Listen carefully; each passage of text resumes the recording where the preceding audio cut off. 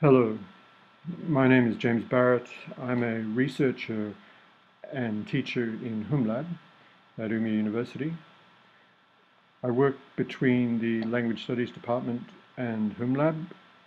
HumLab is a digital humanities computing lab and studio. In the last few years, I've been involved in a number of projects related to digital media and pedagogy in HumLab. Some of them are involving virtual worlds. At the moment I'm speaking to you from one of two islands that HumLab has in Second Life, where we continue to maintain a creative and teaching presence.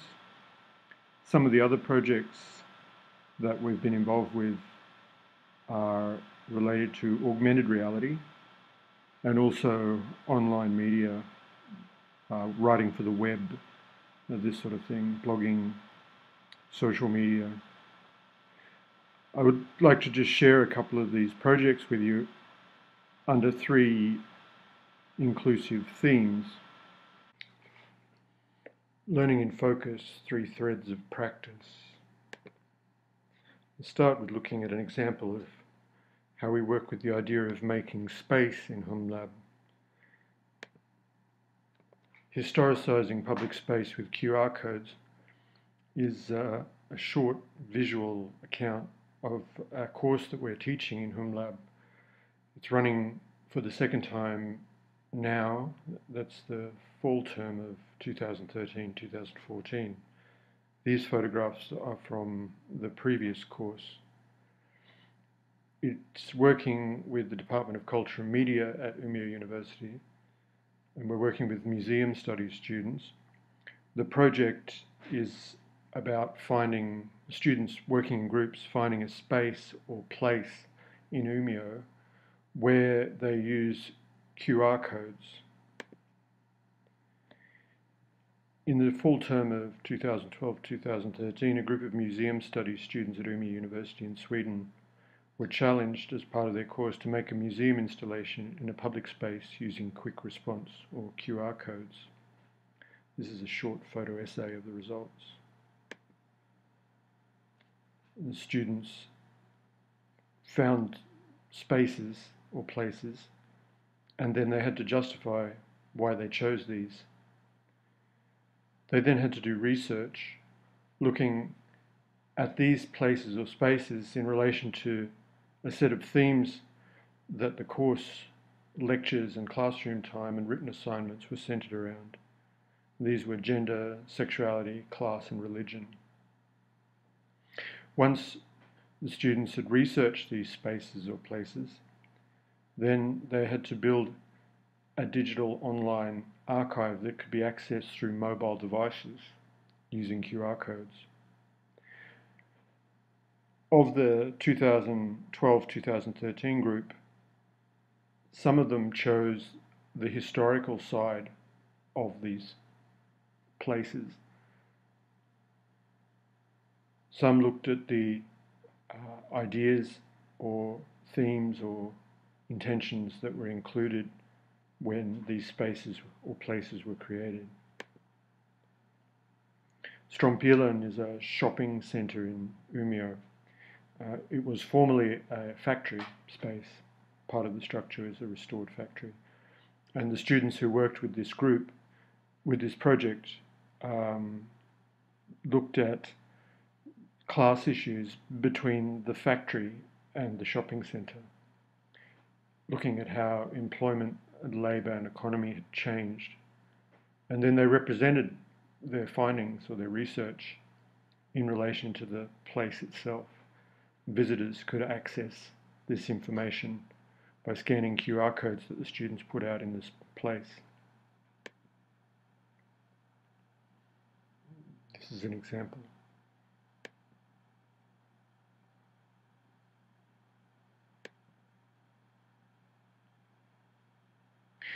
The thinking behind this is that by placing an information layer over this place, then we create a sense of place, an information rich environment that people can access. And in a sense, we historicize that place and bring about a set of relationships that most often are found in a museum, but they're in a public space. And people can connect with that as a place, as a history, and related to the identities and events that happened there.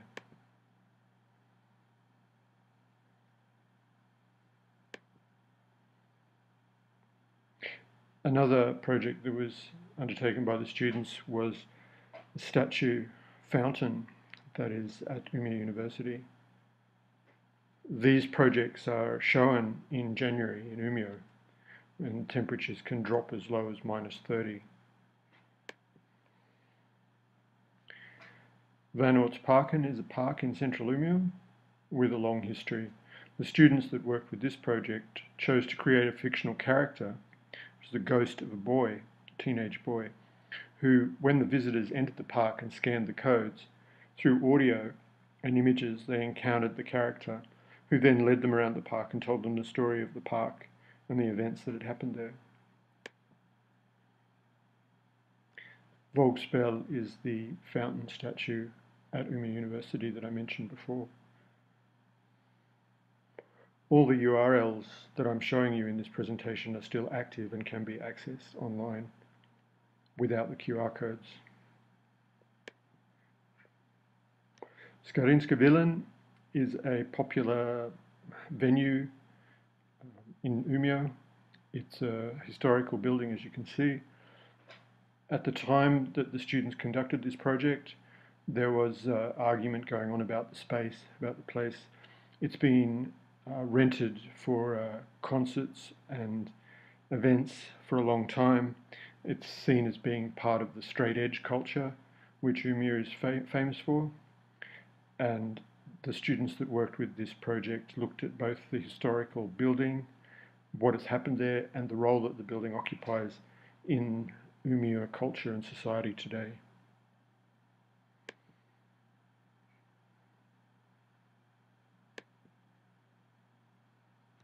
The second theme that I wanted to mention today was learning place.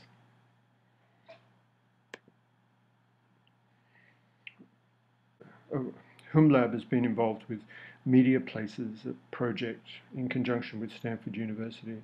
And the idea of Media Place or Media Places beyond the project that we have going with Stanford is, is a very big concern in HumLab. It's something we talk about a lot.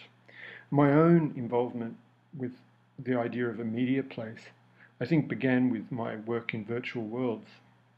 I started working with Active Worlds in 2003 when I first came into HumLab. I've been working with a number of other virtual worlds, online virtual worlds, since then. But in the time that I've been working with virtual worlds, I've really expanded the concept of it. I don't see it as something that you log into a three dimensional graphic space online that is shared by other users, is persistent, that you know you log in and it's still there when you log in again next time. And people can own houses and drive cars and interact with other avatars and that sort of thing. I think a virtual world is actually more than that. And that's why I begin with this image of Borobudur in Java. A beautiful sculpture, a huge structure, and in many ways a virtual world. The idea of place or places, I think, relies on architecture, agency, and actors. And these, in virtual spaces, these are completely achievable. You can have a place in a virtual space. And an early example of this is Amsterdam online. The Digitale Stad is 1994 DDS has 15,000 accounts. This is Howard Rheingold's speaking about it in 1995. People have occupied the city with their home pages, they have their own Usenet newsgroup hierarchy. The new interface they demonstrate creates a visual representation of the digital city divided into town squares, literary areas of interest. Literally areas of interest. People look at the information in different areas, can choose to represent their presence with their email address and a small GIF. Seems quaint now to think about this. Today, Virtual Amsterdam in Second Life is a graphic three-dimensional space populated by avatars. Another example of creating space and place with virtual media is Arden, the World of Shakespeare. It was a short-term project where the creators attempted to have a recreate the spaces and places of Shakespearean drama. Rome Reborn is an ongoing project where the city of Rome is recreated in a virtual space on a particular day in AD 320. Virtual prayer evening took place on the 21st of September 2008, where avatars logged into Second Life and engaged in prayer in churches built inside the space. Religion and virtual worlds is an ongoing research area in HumLab as well. One of my colleagues, Dr. Stefan Gelfgren, is researching this. The uh, Big Pond um, application from Australia has closed down now, but at one stage uh, they had a representation of Uluru, known to many as Ayers Rock. Inside the virtual space was near a pub, of course, but when this was created, representatives of the traditional owners, the Anangu people, warned that even with restrictions it may be possible to view sacred sites around Uluru. Although they were continuing to investigate the issue, it was considered that the Anangu people wanted the, the virtual Ayers Rock closed down because they felt that it was uh, intruding on their own spiritual beliefs related to the rock. I thought this was an interesting issue, this idea of virtuality and reality, the separation between the two. I think as digital media becomes increasingly efficient, fast, and augmented, it operates outside the box of a computer, we're going to have to renew our understanding of of what is virtual and what is real. This is a still image from a project that we conducted in HumLab. It's part of an ongoing artist in residency that we have in Second Life, where a real artist, often quite a well-known artist, will apply and be granted a three-month residency on the HumLab island, where they can work, create things, uh, run experiments, meet people, talk, do teaching, uh, deliver seminars, all within the virtual space of Second Life. So they don't actually travel to Sweden to HumLab to do this.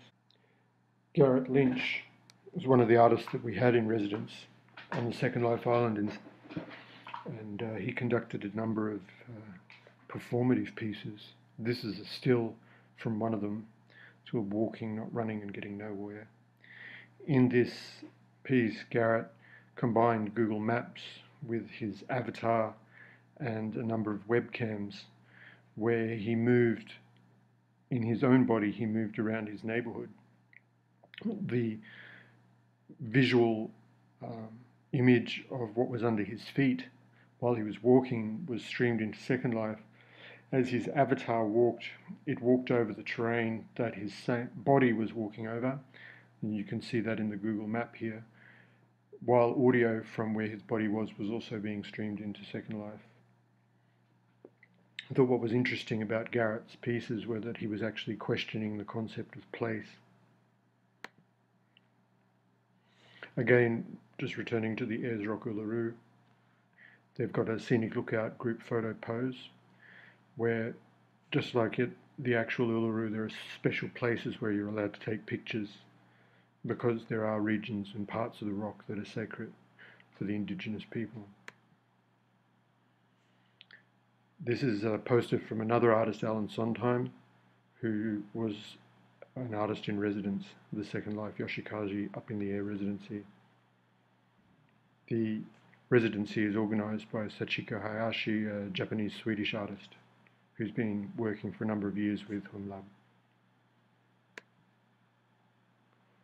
This is uh, Bodhi Island in Second Life. It was a large island that was devoted to teaching, speaking, and archiving about Buddhism. Again, the idea of prayer in a virtual space This is one of the mosques that are in Second Life, and you can see an avatar performing a prayer. The final theme that I wanted to talk about in this film, which is a sort of a summary of everything I've said up to now, is narrative as interface. The idea of narrative as interface comes from a early text by Nick Montfort, actually his master's thesis from 1995, where he said the interface controls the reader's interaction with the narrative. He was talking about interactive storytelling. But I think that basic idea can be maintained today even in the most complex of digital texts.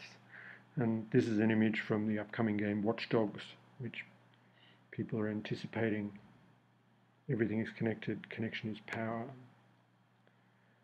The idea of this narrative as interface, I think, can be traced back to Renaissance perspective, the idea of space, place, perspective, and this is an image from Sebastian Serlio from 1545, where he constructed images of the city. I think this is the city as tragedy, but you can clearly see the Renaissance Quattrocento perspective at work in this image.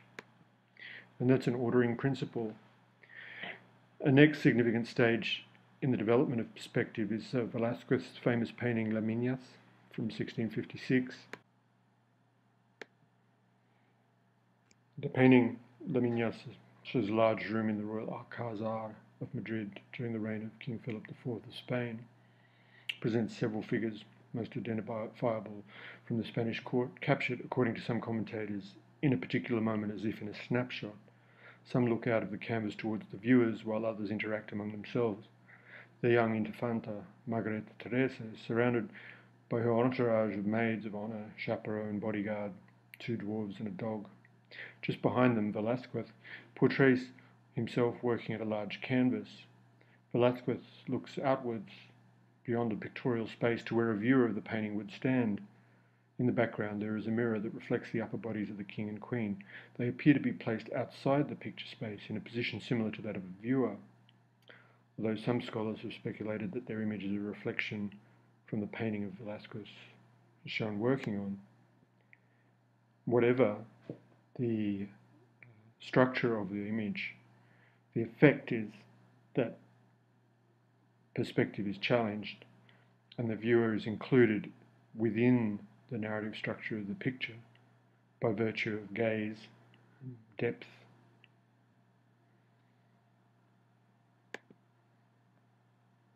Likewise, Cézanne's painting includes the viewer because it is a deconstruction of an image to its points. It's not a complete image until the viewer puts it together as a series of surfaces and planes. Abstraction had this effect. The image is broken down into surfaces, paths, shadows, distances. This was perhaps the beginning of the end of academic composition, following the long established rules of perspective. Heavily influenced by Cézanne, several young artists were soon to radically break the mould and themselves become major influences on 20th century art. These would include Picasso, Duchamp, at the same time that the visual image was being broken down into a set of constituents that required a position for a viewer in order to complete the structure. Language was also being used as an interface in literature. Many commentators and critics trace this back to Tristram Shandy, the novel. But you can also see, I've identified in my own research, She by Rider Haggard, featuring the Shard of Amenartas, where Haggard had his sister create a pottery shard which was then inscribed with Greek and Latin. And he used this object as a start of a narrative story, his novel She. James Joyce is well known for working with language as a material structure. Ulysses and Finnegans Wake are two examples of this. Virginia Woolf pursued similar interests and goals with her writing. the one that I've looked at the most is the novel Between the Acts, which is an intense uh, stream of conscious and also material encounter with language. Gertrude Stein, The Making of Americans, perhaps her most famous work, where she worked on language as, as a structure, as an object almost, a sculptural field. She worked with words, repetitions, rhythms, sounds, phonemes. Samuel Beckett, similar. In the 1950s, the American writer William Burroughs and his colleague Brion Gysin resurrected some of the practices of the surrealists, beginning a cut-up method working with sound and image. Milorad Pavić, the Dictionary of the Khazars, another example, often cited by digital scholars, where a book, the Dictionary of the Khazars, was written about a fictional people, and it's encyclopedic, it's ludic in the, the fact that the reader has to wade through entry after entry about these fictional peoples, or fictional, it's a fictional dictionary, but they put together in such a way that information has to be combined by a reader in order for it to become a narrative. Jorge Luis Borges' book Aleph is another example of this language's interface. Julio Cortázar, his hopscotch, and finally, most recent example, Daniel Danielewski's House of Leaves, where the reader has to combine and search through a text in order to construct a narrative.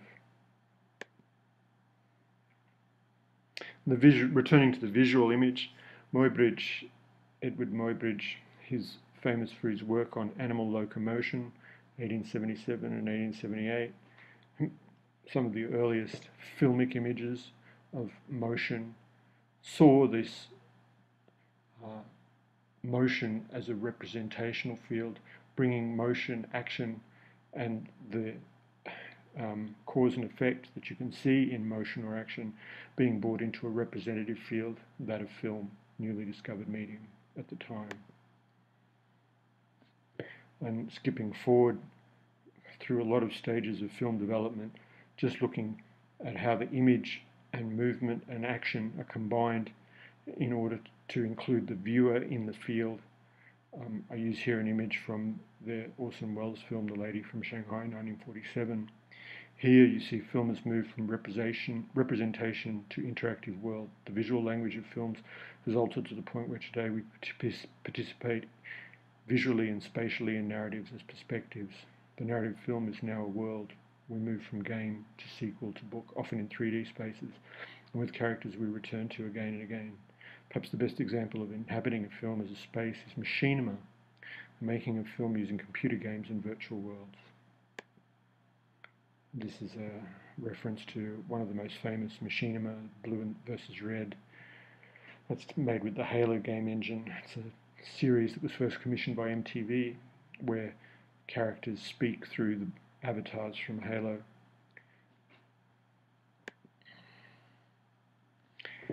Augmented reality is now being increasingly used to mediate urban spaces. This is an example from the London Museum where an app has been created. You move around present day London, you hold up your iPhone and you can see spaces and places as they looked before, often related to historical events. This is um, World War II London superimposed over present day London. And then returning to virtual worlds once again. Since 1999, a number of courses have been run in HumLab that use virtual worlds as spaces for learning, from linguistics to language learning, virtual spaces for art production, and the teaching of even pharmacy. These courses teach students to deal with aspects of working life, as well as teaching critical concept grounded in material relations. The idea of critical making is a key concept in uh, HumLab. I don't have the time or space to elaborate on it here, but as well, the idea of simulation combined with virtual worlds has strong pedagogical possibilities, which we've been exploring in HumLab. Finally, I'd just like to end on the idea that separation is ceasing under the, uh, the banner of narrative as interface. You can see that both the representation and the action, or the interpretation and the interaction, are now joined within digital media due to feedback loops that programming can create and also the mobility of this sort of media. I've just got a few examples here. An example of this interaction, meaning, feedback is Console Yourself. It was a production, theatre production that was done by Skuggteatern, the Shadow Theatre in Umeå, and uh, HumLab, working with the game artist Nifflers. Audience participation controls the actors the choices actors make through a body and audio tracking game interface. Uh, we hacked uh, Kinect from the uh, Xbox platform and then use this uh, body tracking software and uh, audio tracking for the audience to be able to manipulate actor choices during the theatre production. It was very successful and popular. Thank you very much for your time. Uh, if you have any questions, this is my email if you'd like to get in contact. Thank you for listening.